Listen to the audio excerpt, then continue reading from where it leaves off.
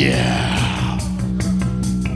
Ladies and gentlemen, c'est l'heure de la justice!